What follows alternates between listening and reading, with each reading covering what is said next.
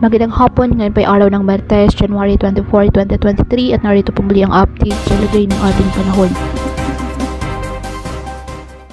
Ayon sa pag-asa, malaking bahagi ng ating bansa ang makakaranas pa rin ng mga pag-ulan dahil po sa binabantayang low pressure area.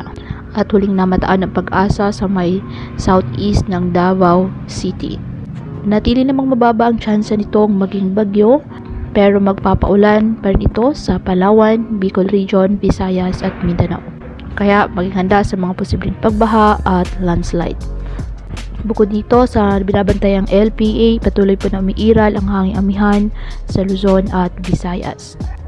Samantala, dahil pa rin sa amihan, magiging maalon at delikado pa rin para sa ating mga maliliit na sasakyang pandagat ang pumalaot po sa mga baybay na sakop ng Kalayaan Islands, Ilocos Region, Cagayan Valley, Aurora at sa ilang baybayin po ng Quezon at Bicol Region. Ngayong araw, asahan ng mga pag-ulan sa ilang bahagi ng extreme northern Luzon, Quezon, Mimaropa Region, Visayas at Mindanao. At sa hapon, ulan na rin po ang ilabang bahagi ng ating bansa habang mababa naman ang tsansa ng ulan sa Metro Manila ngayong araw. Kaya patuloy pa rin po natin na nag-iingat ang ating mga kababayan sa banta po ng mga pagbaha at paghuho ng lupa at ugaliin po na magdala palagi ng payong o kahit ano pa ng gas sa ulan sa tuwing lalabas ng ating mga tahanan. At yan po muna ang update sa lagi ng ating panahon ngayong araw. Muli patuloy po tayo na mag-ingat at palaging tandaan, God loves you. Stay safe and God bless.